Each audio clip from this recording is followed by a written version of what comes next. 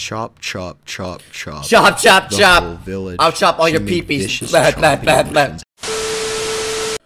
Reapers, what's is good? It's your boy Lazor. Use the visor back with another scary reaction video. He's on this scary content. So continue to deliver that for you guys. In this video, ranking the top 15 scariest things kids have said.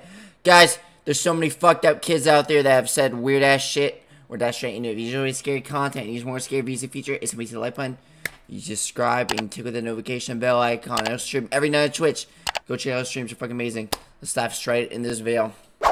Number 15. Hmm. I wake up to find my three year old standing by the bed, staring at me, inches from me with a huge grin on his face. Dude, Batman, he's just me He like just stares just like and me. grins. What are you doing? I finally say. Nothing. Still grinning. Bro, he looks like a very friendly kid. He just wants to play knife bow, bro. Come on.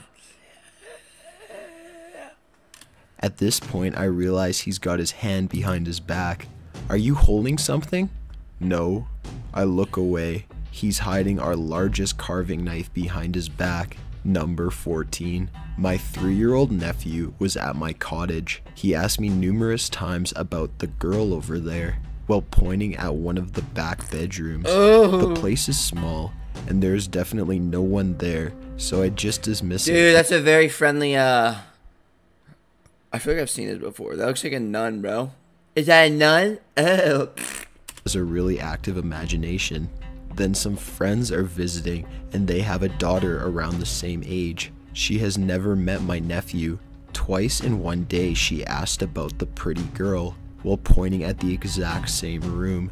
Definitely caught me out, and I didn't know what to think. then at Christmas, my family was over at my place, and my nephew points at a picture of my wife and asks if she's coming to visit us here. You said she's coming inside of you? Is that what you said?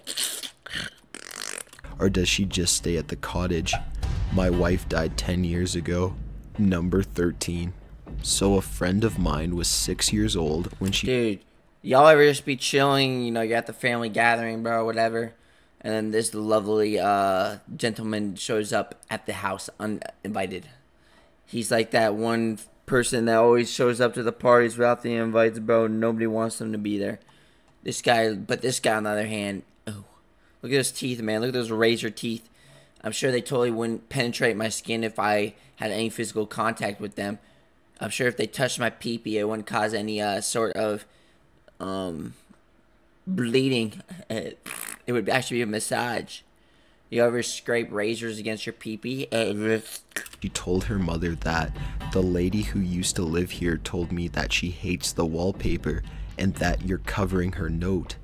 My friend's mom just thought it was make believe rambling and forgot about it. Well, 12 years later, when the mom is redecorating and taking down the wallpaper in the attic, she finds a suicide note scratched into the wall.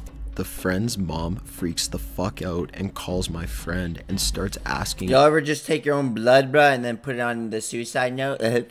if she remembered anything more about the woman who spoke to her. My friend starts to recall the woman and starts to freak out, saying she only remembered talking to her in the attic. Number 12. A friend of mine and her husband bought what is considered an old house around here. what is that, bro? Are these the things that like you put something in it, like burns? I've seen like movie deaths, like people being thrown in these type of things, bro. Wow, this one looks pretty small. The opening looks small. I don't know if you can get in there, but I've seen like those furnaces, bro. That's gotta be one of the worst ways to die. I mean, being burned to death. Um, my ancestors can relate to that, but just the idea of like being thrown in one of these, oh man. Western Canada, not many houses over a hundred years old. They were renovating the basement one day while I was visiting. I was down there alone with their son, who's barely two at the time and could not speak in full sentences. He took my hand and led me over to a brick chimney like thing with a rusty metal door on it. He looked up and said, That's where dead babies go. I was Dude, can I throw my uh feces in there? was horrified. Firstly, because, like I said, the kid could barely talk, let alone say the- something like that. He's just like me, and I'm kidding. I can talk straight. Well, sometimes I mumble, but uh, the uh, uh, bubble guppies. I doubt he even knew what dead meant. I'm positive that no one would have told him that, and there were no older kids around that would have said that as a joke. Still creeps me out to this day. Number 11. My brother grew up being terrified of water. I mean, the idea of just being frozen to death, bro, like freezing to death in water, like hypothermia. I'm gonna be feel like freezing to death. I feel like I mean they're both bad. Burn- Burning to death, freezing to death. They're both terrible deaths. They're both slow as shit. But I think I don't know. I feel like low key freezing to death would be worse, bro. People say freezing to death like it's equivalent to like a bunch of like needles just like stabbing you pretty much. I don't know. Like the idea of like dying from hypothermia scares me. I know the Titanic water was like what? I remember I went to like this museum, bro, and like they it's cool. I think it was like at the I don't forgot which place it was, but there was like this museum I went to and it had like the Titanic water, bro. And I got to like put my finger in that shit to like feel the water. It was really cool. Like I got to feel what the water like actually felt like. It was like a, this uh this little sample thing. I don't know. It like tells you the temperature of the water and like you just dip your finger in it. And holy shit, man, that I might I couldn't even keep my finger in that water, bro. It was so like I feel like I would have got a hypothermia just from keeping my finger in there. It was so bad. It was freezing. The water was like really cold. It felt uncomfortable. I had to get my finger out of there like less than five seconds. It's crazy to think that, that people were like in this shit. Like, oh fuck. four years older than him, and during the nightly battle for bath time, when he I think like the worst part about the Titanic, bro, was like how it like just sank. Like it it like split it in half, and then like so there was like people at the top, and they just slid down, bro, into the water. I don't know, man. The idea like nowadays, it's like if a ship sinks, it's like people are more prepared. There's lifeboats, all that shit. So back then, it was like people weren't like really. I don't know. Just the idea of dying from a sinking ship's one of my worst fears. I feel bad. Like it's just crazy to think. Nah, man, it's crazy. The Titanic, man. he was a boat And you know what else is crazy? We talk about how the Titanic was such a big ship, but nowadays it's average compared to all the. It's smaller than compared to most average cruise ships nowadays. Crazy. three or four, I asked him why he's so scared of water. Being a water baby, as my mom put Water it, Water baby? What the don't fuck? understand. Who the fuck he says looked that? at me, and I remembered this word for word. I was on a big unsinkable ship. We hit the biggest iceberg, and then it was really busy, and then I got really cold and wet. I went to a warm, bright place and waited until my next family came. My mom heard it and decided bath time was over. The creepy thing is that my brother was born on April 15th, 1992.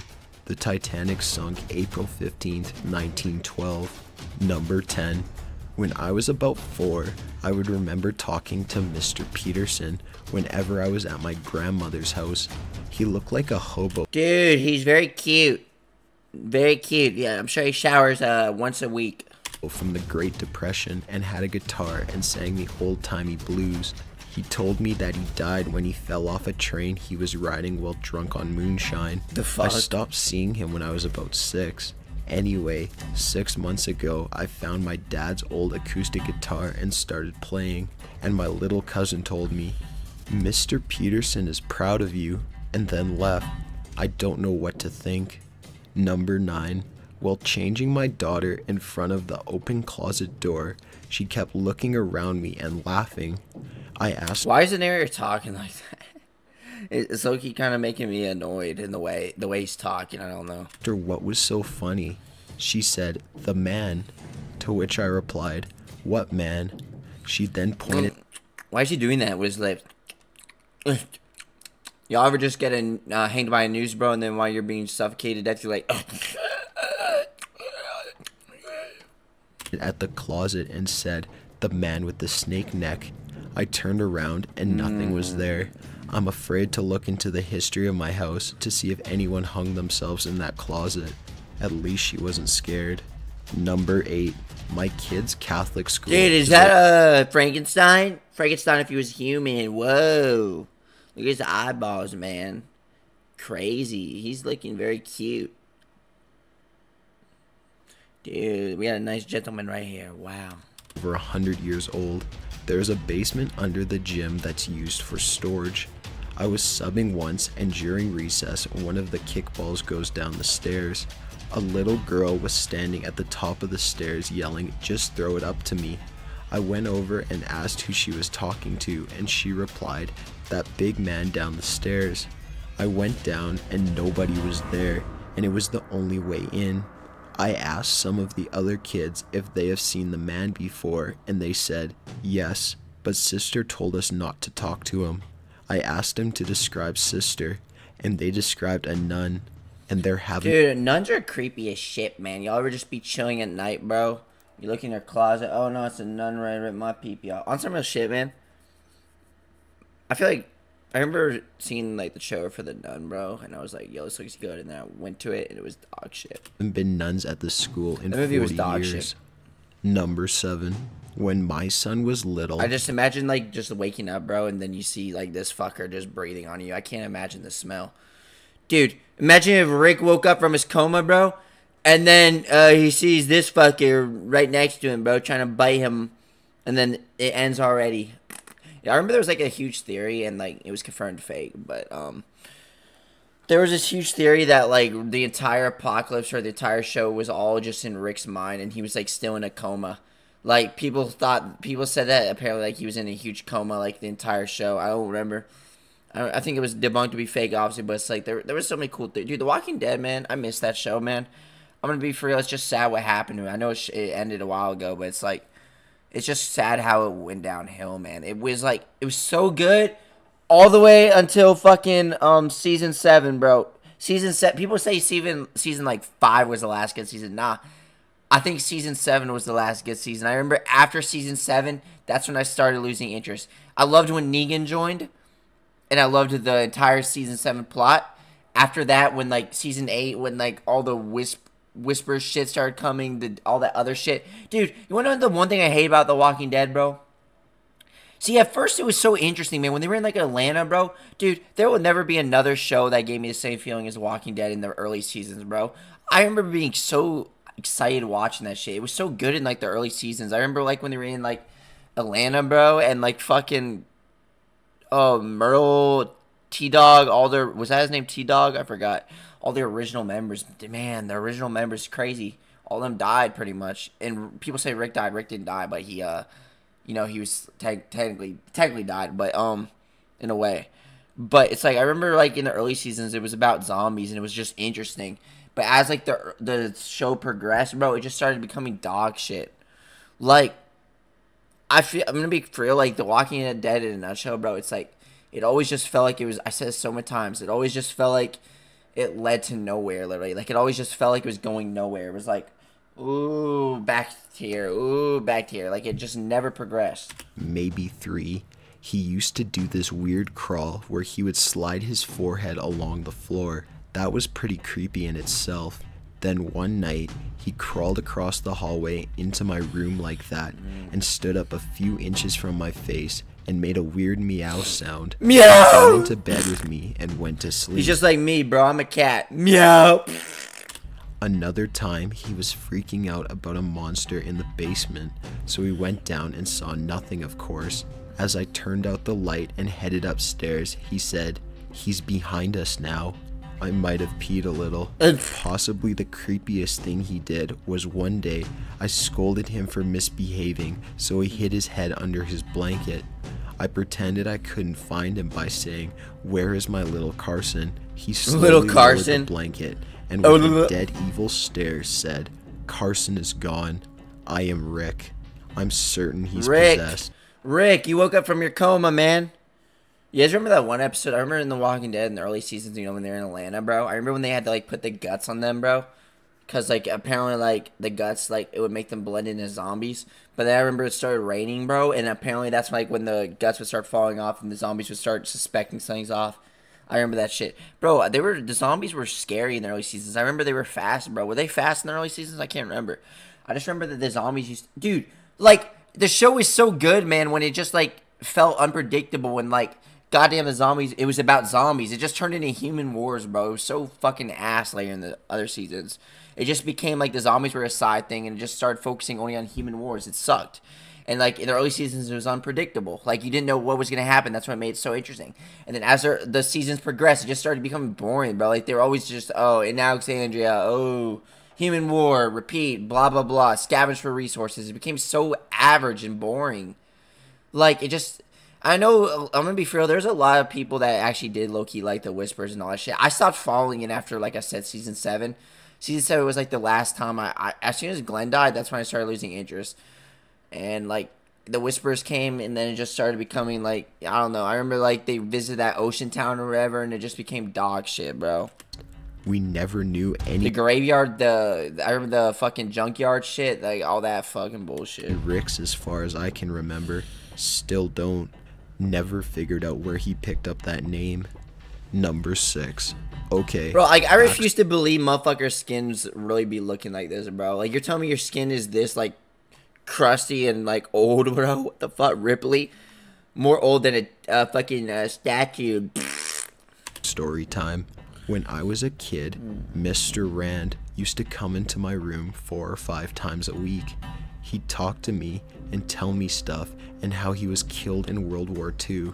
See, Mr. Rand was a figment of my four year old uh. imagination. Anyway, one day I was nine or so. Mr. Rand stopped showing up. He's cute. Fast forward to about three years ago, and my son, who is five at the time, walks out of his room one night at about 11:30 and says there's a man in the room.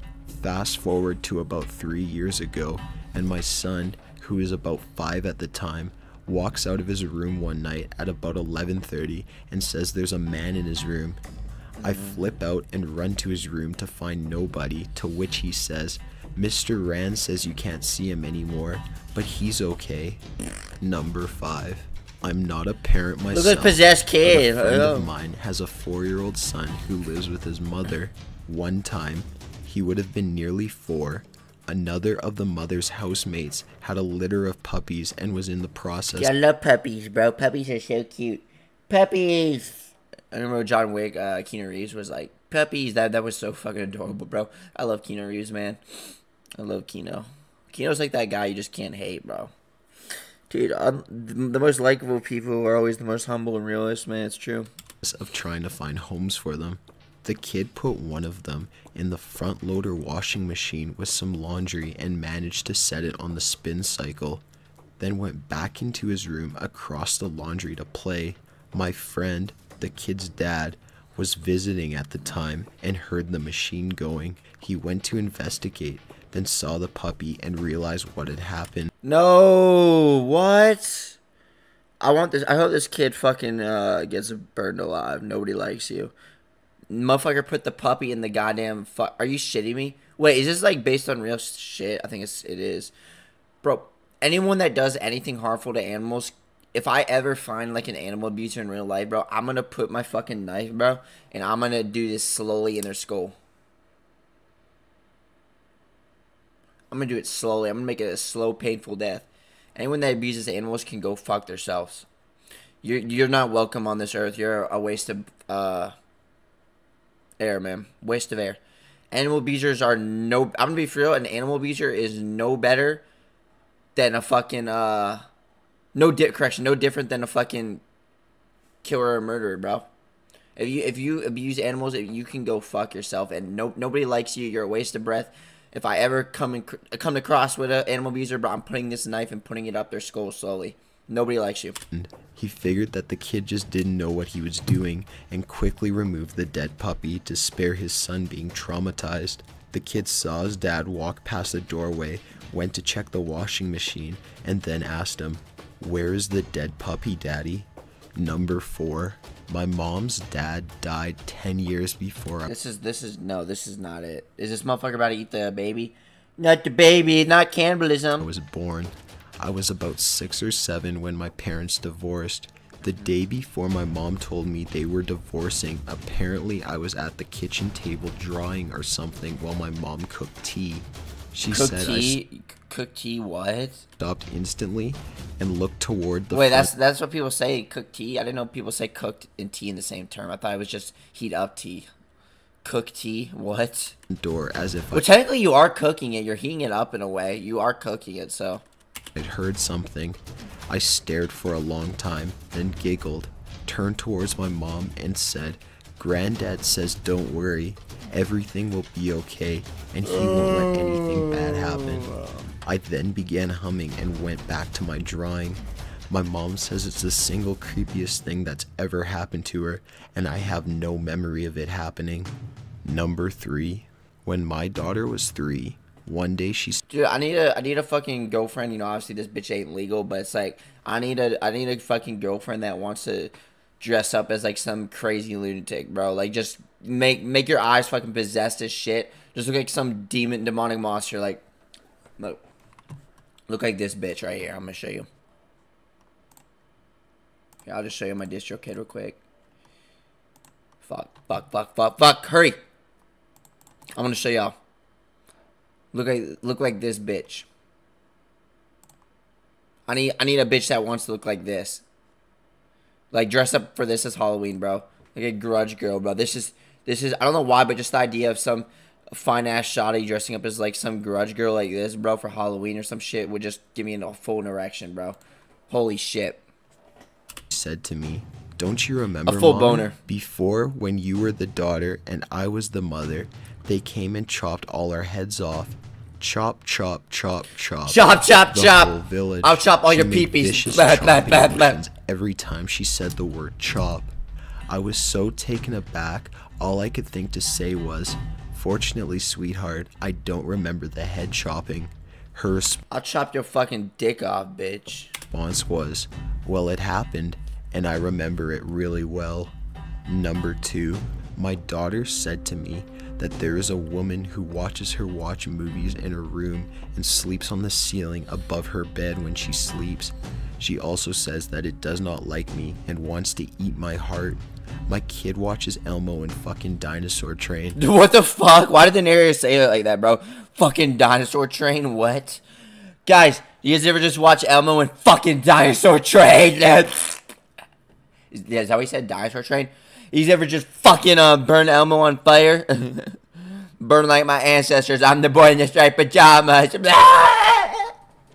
Where in the hell did she get this from? Number one, when I was young, like maybe two years old, my grandma was in the hospital dying of cancer. Obviously, I had no idea Dude, y'all ever just heat up your, uh...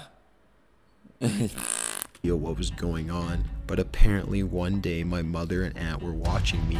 I suddenly looked at them and said, Only one grandma. They kept trying to convince me otherwise, Y'all ever just uh put your pee on like the holes right here, bro, on the phone, nut inside it, and then the other person on the other line has a pleasant surprise. Y'all know that. Uh, I remember when when I used to believe that like if you spit through like the. I remember I used to believe that like you can like make shit go through the other side of the line. oh man, funny times. that no, I had two grandmas, but I kept repeating that line over and over. Then the phone rang. It was my uncle calling to tell my mother that my grandma had passed a few minutes ago. Got Damn, idea. Well, guys, that's it for this video. Hope you enjoyed it. Guys, which one of those things that kids have said was the most scared of you? If you enjoy scary content, you want scary features you need to do, I'll see you next one. Peace.